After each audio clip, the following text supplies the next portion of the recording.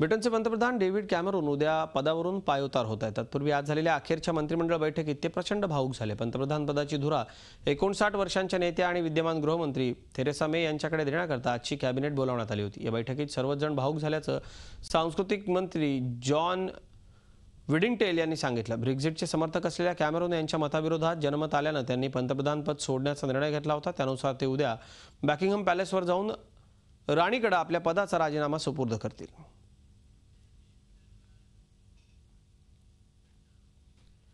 ब्रिटनमध्ये उद्या सत्तांतर होतं हे सत्तांतर निवडणुकांमुळे नाही तर ब्रेक्झिटमध्ये पंतप्रधान डेव्हिड कॅमरून यांच्या मताविरुद्ध जनमताचा कौल आल्यानं होत आहे त्यांच्या जागी सध्याच्या गृहमंत्री थेरेसा मे पंतप्रधान होतील. ब्रिटनची दुसरी आयन लेडी कशी आहे? पाहूयात एक स्पेशल रिपोर्ट मार्गारेट थेचर सत्तरच्या दशकात साऱ्या जगावर ब्रिटनच्या अर्थकारणाचा ठसा उमटवणाऱ्या आयर्न लेडी.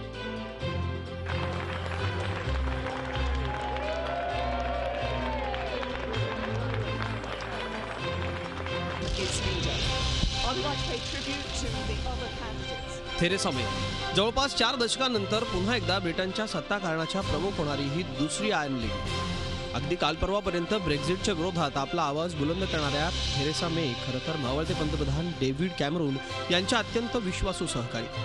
पण ब्रिटननं युरोपियन युनियनमधून बाहेर पडण्याच्या बाजूनं जनमत दिलं आणि कॅमरून यांनी नैतिकदृष्ट्या पद सोडण्याचा निर्णय घेतला. कॉन्झर्वेटिव्ह पक्षाला ब्रिटिश हाऊस ऑफ कॉमन्समध्ये बहुमत आहे. त्यामुळं सत्ता बदल नसला तरी नेतृत्व बदलणार हे निश्चित झालं. मग टोरींमधलेच पाच जण मैदानात उतरले. ब्रेक्झिटचे कट्टर समर्थक लंडनचे माजी महापौर बेरीज जॉन्सन आणि कॉन्झर्वेटिव्ह पक्षाचे मायकल गोव सुद्धा या शर्यतीत होते. त्याचसोबत विद्यमान गृहमंत्री थेरेसा मे आणि विद्यमान अर्थमंत्री अँड्रिया लीडसम ही स्पर्धेत होत्या. सोमवारी संध्याकाळी अचानक अँड्रिया यांनी माघार घेतली आणि थेरेसा मे पंतप्रधान होणार हे निश्चित झालं. this campaign, my case has been based on three things. First, the need for strong, proven leadership to uh, steer us through what will be difficult and uncertain economic and political times.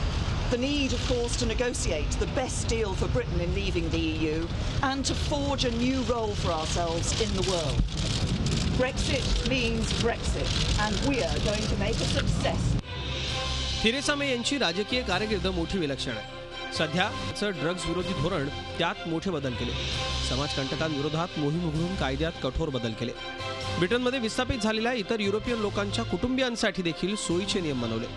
चार महिन्यांपूर्वी conservative पक्षाला सलग दुसऱ्यांदा सत्ता मिळाली. त्यातही Theresa यांचा महत्त्वाचा वाटा होता. कॅमेरून यांच्या खांद्याला खांदा लावून त्यांनी ब्रिटनच्या आर्थिक विकासाच्या दृष्टीनं सामाजिक स्थैर्य देण्याचा प्रयत्न केला. आज त्याचं फळ त्यांना मिळालंय. आपल्या लांबलचक राजकीय कारकिर्दीत त्यांनी अनेक महत्त्वाची पदं भूषवली आहेत.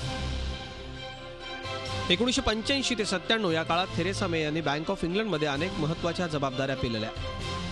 जुलै दोन हजार दोनमध्ये थेरेसा मे या कॉन्झर्वेटिव्ह पक्षाच्या अध्यक्ष झाल्या. दोन हजार तीनमध्ये त्यांच्याकडे विरोधी पक्षनेतेपद आलं. दोन हजार चारमध्ये कॉन्झर्वेटिव्ह पक्षाचं सरकार आल्यावर त्यांना डेव्हिड कॅमरून यांनी आधी शिक्षण मंत्रीपद आणि नंतर गृहमंत्रीपद दिलं. थेरेसा मे यांच्या आतापर्यंतच्या झळाळत्या कारकिर्दीनंतर आता त्यांच्यावर पंतप्रधान पदाची मोठी जबाबदारी आहे. थेरेसा मे यांच्यावर असणारी सर्वात महत्त्वाची जबाबदारी आहे ते ब्रेक्झिटची प्रक्रिया पूर्ण करण्याची. ही प्रक्रिया पूर्ण करण्यासाठी ब्रिटिश संसदेला आर्टिकल पन्नास नावाचं कलम वापरावं लागणार आहे. हे कलम एकोणीसशे सत्तरच्या दशकात युरो झोनच्या स्थापनेवेळी ब्रिटिश घटनेत आणण्यात आलं होतं. हे कलम वापरण्याची परवानगी मिळाल्यावर युरो झोनशी असणारे सीमा संबंधातले करार आर्थिक संबंध सांस्कृतिक शैक्षणिक संबंध नव्यानं तयार करावे लागणार आहेत. याशिवाय ब्रेक्झिटमुळे अर्थव्यवस्था डबघाईला येणार आहे. ढासळणारा पाऊल सांभाळणं आयात निर्यातीचं नवं धोरण आखणं या एक ना अनेक आव्हानांना शिरावर घेऊन ही दुसरी आयन लेडी सज्ज झाली आहे. एकेकाळी जगातली सगळ्यात मोठी साम्राज्यवादी ताकद असणारी ब्रिटिश सत्ता काळाच्या ओघात बदलली आहे. लोकशाहीचं नवं रूप ब्रेक्झिटच्या निमित्तानं ब्रिटनमध्ये रुजू लागलंय. जनमत चाचणीनंतर येणारे कौल निर्णय प्रक्रियेत महत्त्वाचा दुवा ठरण्याची ही बहुधा पहिलीच वेळ असावी. जगामधल्या प्रगल्भ लोकशाही राजवटींपैकी एक असणाऱ्या ब्रिटनमधल्या या नव्या अध्यायाला थेरेसा मेनचं नेतृत्व मिळणार आहे आणि त्यातच त्यांची कसोटी लागणार आहे.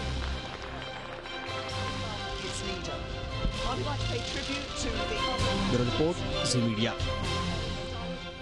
दक्षिण चिनी समुद्रात ड्रॅगननं शिरकाव केल्याचं आणि फिलिपिन्सच्या हद्दीत घुसखोरी केल्याचं स्पष्ट झालं नेदरलँड्समधल्या हॉक शहरात संयुक्त राष्ट्रांच्या आदेशावरून बसवण्यात आलेल्या विशेष लवादानाबाबत चीनच्या विरोधात निकाल दिला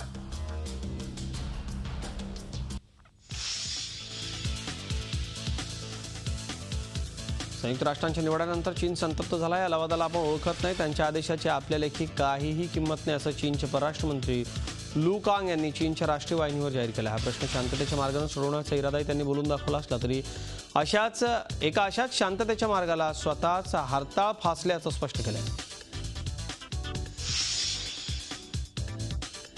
नेपाळचे पंतप्रधान के पी ओली यांचं सरकार अल्पमतात आलंय. देशातले वजनदार नेते पुष्पकमल दहल प्रचंड यांच्या माओवादी पक्षानं सरकारचा पाठिंबा काढून घेत असल्याचं जाहीर केलं दोन महिन्यांपूर्वी नव्या राज्यघटनेवरून पंतप्रधान आणि प्रचंड यांच्यात वाद झाला होता. त्याचं पर्यवसन प्रचंड यांनी सरकारचा पाठिंबा काढून घेण्यामध्ये झालं. स्पेनमधल्या प्रसिद्ध बुलरन फेस्टिवलमध्ये पाच जणांचा बळी गेलाय. पाम्प्लोना इथे दरवर्षी हा सोहळा होतो. पांढरा शर्ट आणि लाल स्कार्फ घालून वळूंच्या पुढे धावण्याकरता इथे जगभरातून हजारो पर्यटक येतात.